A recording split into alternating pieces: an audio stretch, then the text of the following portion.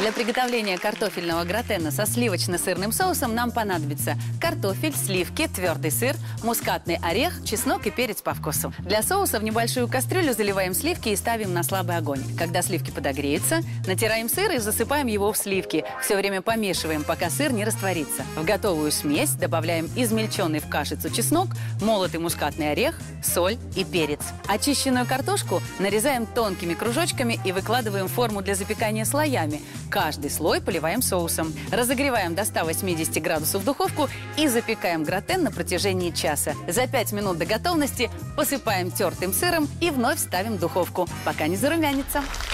Возьмите картофель, желток, творог, муку, мясной фарш, лук, соль, перец, растительное масло, а для соуса клюкву и сахар. Картофель отварить в кожуре, очистить и перетереть через сито, пока он горячий.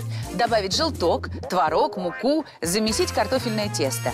Из мяса и лука приготовить начинку. Соль и перец добавить по вкусу.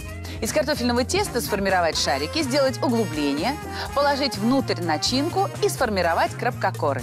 Варить крабкокоры в кипящей подсольной воде 15 минут. Подавать с клюквенным соусом. Для приготовления соуса клюкву перетереть через сито, в образовавшийся сок добавить сахар и уваривать соус в течение 10 минут до загустения.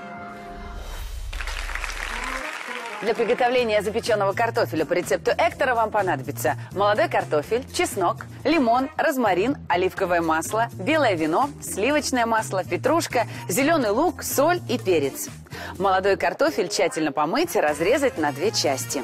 Приготовить соус для блюда, для чего смешайте измельченный чеснок, сок лимона, розмарин, оливковое масло, белое вино, зелень петрушки, соль и перец по вкусу.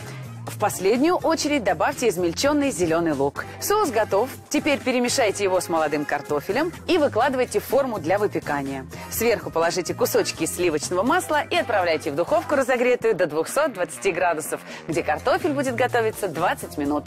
При подаче украсьте зеленью петрушки. Привет, YouTube! Тебе понравилось это видео? Тогда оставляй комментарий и делись им со своими друзьями. А еще подписывайся на наш канал, и ты узнаешь обо всем первым.